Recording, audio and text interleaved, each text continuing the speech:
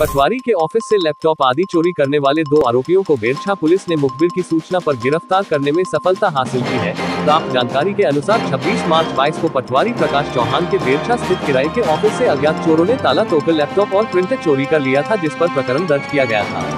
मंगलवार को बेरछा पुलिस को मुखबिर से सूचना मिली कि बिरगोट फाटक के समीप दो युवक लैपटॉप बेचने के लिए घूम रहे हैं। इस पर पुलिस ने घेराबंदी कर दोनों युवकों को पकड़कर लैपटॉप के बारे में पूछताछ की।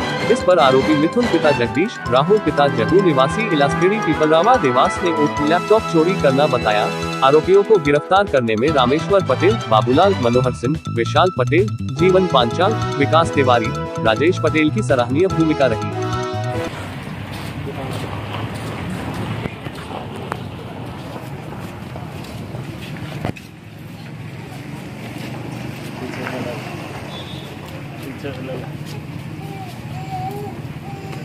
That's